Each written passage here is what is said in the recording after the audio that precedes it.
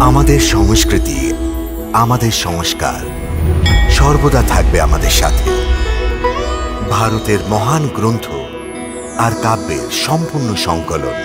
Subscribe করুন তিলক। শুধু একটা চিন্তাই আমার মনকে তোল পার করছে। আমার পরম মিত্র মহারাজ দশরথ বিনা অপরাধে আপনাকে বনবাসে কেন পাঠালেন? আপনি তো ত্রিকালদর্শী। সর্বজ্ঞ।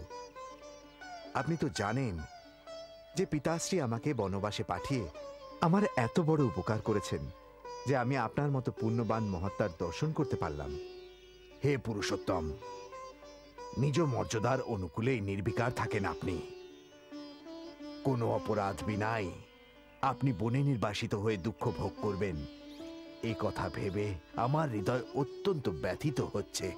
বিশ্বাস করুন, পূজ্যবর আমি শপথ নিয়ে বলছি, বনবাসের জন্য আমি বিন্দু মাত্র দুঃখিত নই। অতি মধুর আনন্দ লাভ করছি আমি এই বনবাসের নতুন জীবনে। আপনাদের মতো মহামানব মণি ও তপস্বীদের দর্শন হবে। প্রতি পদে পদে সাহস, সৎকার্য ও অসহায় মানুষদের সেবার সুযোগ পাবো আমি। ধন্য আপনি, রঘুকুল নন্দন, ধন্য। আপনার আত্মবল, আপনার আত্মবিশ্বাস ঋষি তপস্বীদের থেকে বেশি। পিতৃ আজ্ঞা পালন করায় তোমার আদর্শ। আর্য সন্তানদের জন্য অনন্তকাল ধরে উজ্জ্বল তারকার মতো জল জল করবে।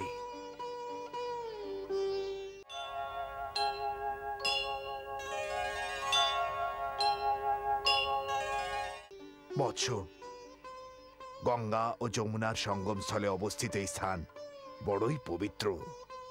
বড়ই পুণ্য স্থান এই জায়গা। আমার আশা যে এখন আপনি দেবী সীতা ও নিজ অনুজ লক্ষণের সঙ্গে এইখানে এই আশ্রমে শান্তিতে বসবাস করবেন। দুঃখিত মুনিবর, এখানে থাকা বোধহয় উচিত হবে না। কেন বৎস? তীর্থরাজ প্রয়াগের পবিত্র ভূমিতে বাস করতে অসুবিধা কোথায়? আমাদের রাজ্যের সীমা এখান থেকেই শুরু হচ্ছে।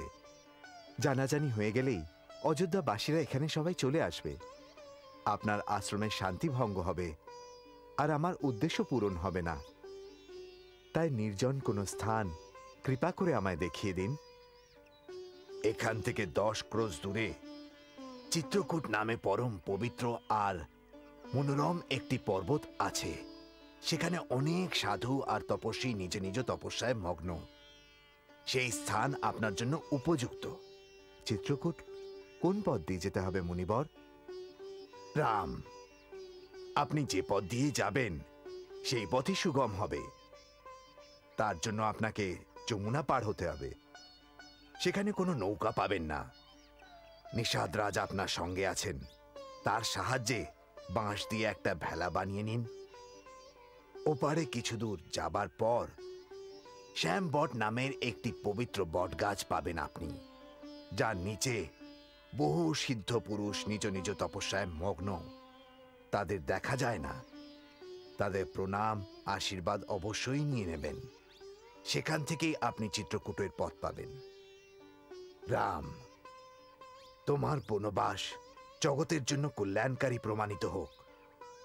আমি পিতার মতো সর্বদা তোমার কল্যাণ কামনায় মগ্ন থাকব।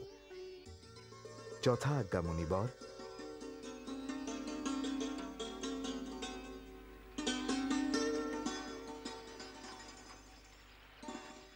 দাও দাদা ধনু কামায় দাও আমি এটা রাখছি।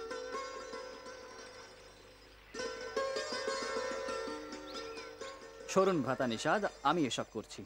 হ্যাঁ যথা আজ্ঞা। প্রভু একটা একটা করে বাঁশ কেটে ভেলা বানিয়েছি। এখন এটাই নিশ্চিন্তে চড়া যেতে পারে। ভেলা প্রস্তুত। হে মিত্র তুমি আমায় যথেষ্ট সঙ্গ দিয়েছ।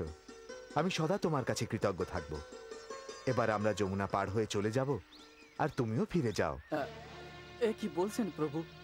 কি বলছেন? নিষাদ রাজ তুমি কথা দিয়েছিলে না যে যখনই আমি বলব তুমি যাবে? এ, এইরকম কঠিন বসন দিয়ে ফেলেছি আমি। প্রভু এখনও তো আপনাদের যমুনা পার হতে হবে। সামনে ভয়ানক বিপদ। বিপদ তো পদে পদে নিষাদ রাজ। আমাদের গন্তব্যস্থল ঠিক হয়েছে। তোমাকেও এত সময় ধরে নিজের রাজ্যের বাইরে থাকা উচিত নয়। যাওয়ার আগে আমি তোমার কাঁধে একটা দায়িত্ব দিচ্ছি। ভরত সবেমাত্র রাজ্যভার গ্রহণ করেছে।